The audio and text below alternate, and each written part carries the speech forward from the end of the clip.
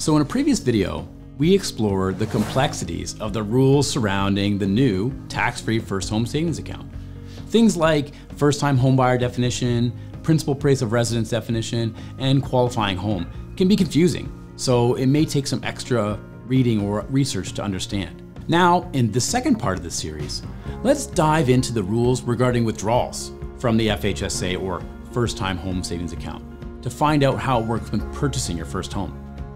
To make a tax-free qualifying withdrawal from your FHSA, the holder or the account holder must complete a particular form called Request to Make a Qualifying Withdrawal and submit that to the FHSA issuer. So that just means submit it to the bank, the investment company, or whoever is holding or managing your investments.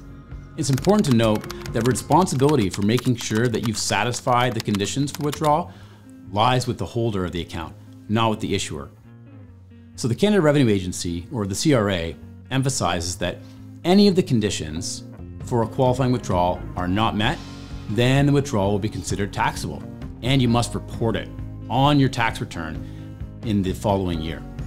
So, what are the conditions for a qualifying withdrawal? Well, first, the account holder must be a Canadian resident at the time of their first qualifying withdrawal and continue to be a resident until they acquire the home that they're purchasing or building. The definition of a first time homebuyer differs when it comes to qualifying withdrawals. In this context, a first time homebuyer is someone who has not owned or co owned their principal place of residence in the current year or any of the previous four years.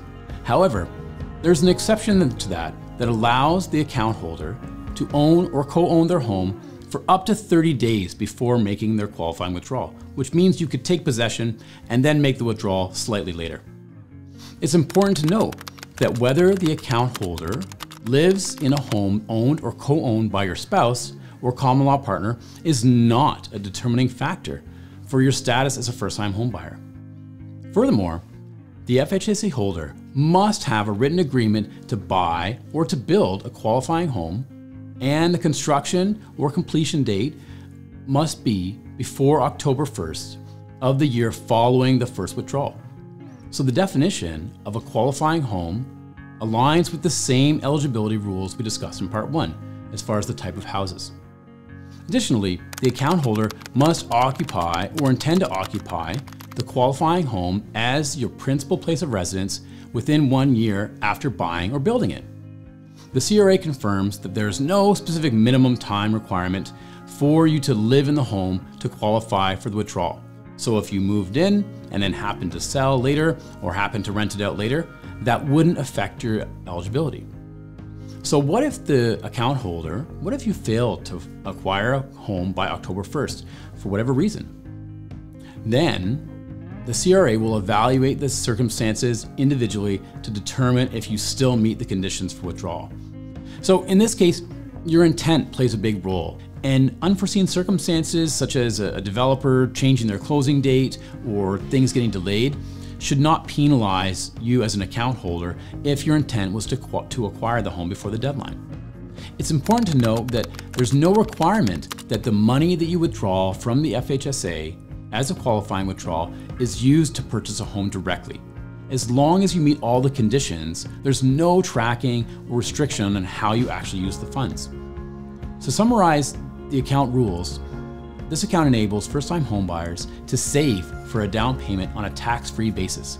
Contributions are tax deductible, just like an RSP, while withdrawals for purchasing a qualifying home are very similar to a TFSA because the withdrawals are tax-free.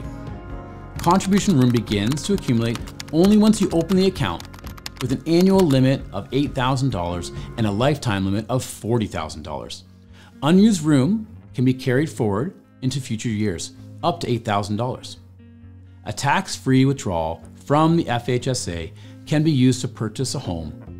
Any remaining savings in the account can be transferred tax-free into an RSP or a RRIF until December 31st of the following year. Non-qualifying withdrawals are considered taxable income for the account holder in the year you take it out. Both the FHSA and the homebuyer plan can be used to purchase the same home, providing first-time homebuyers with multiple options to achieve their dream of home ownership. So if you have an RSP already and you're considering opening an FHSA, you can use both at the same time. If you want to learn more about how the first time home savings account can help you achieve your dreams of homeownership, contact us today. Thanks.